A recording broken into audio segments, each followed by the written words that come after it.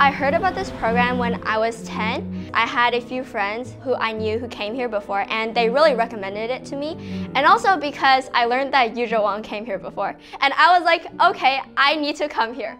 Hearing that it was international and full scholarship at the New England Conservatory, I definitely knew that I wanted to give it a shot. Oh, awesome place, awesome like event, lessons with the best teachers from the world. I'm just seeing so many new teachers and so many different ideas just cycling through and I'm just getting a lot of information and I think that's one of the coolest things about Morningside. They have like 10 or more faculty for each instrument and it's like you get lessons with each of them.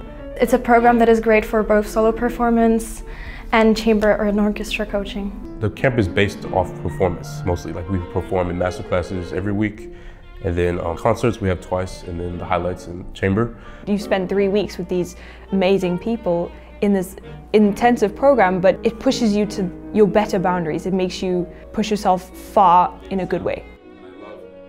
It's a program only four weeks, but the personal and musical enrichment that is around the program, it is so huge and so wonderful.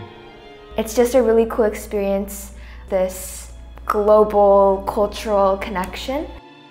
It is fun to talk to others about music. I love to living in the dorm for a month with my roommates.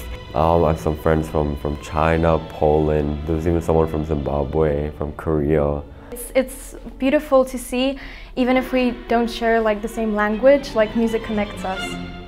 You just get to learn from your peers and everyone here is very um, talented, very hardworking, so it's good to see other people play at such a high level and helps inspire you for your performance as well.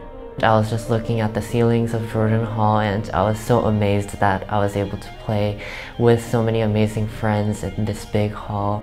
Seeing like the vulnerability and seeing everybody's personalities come out throughout the weeks has just been so special and every single person has something so unique to offer and it's been incredible to get to know everyone. It's the people and the music. It's the fact that I get to go to chamber and I get to work with these incredibly talented musicians and so I get to hear music that I love made with people that I love. The fact that I get to create something beautiful with people that I get on with and the people that I ultimately will keep in my life for forever hopefully that is what makes MMB such a special place and what that's what my favorite bit is a combination of this incredible music with these incredible people.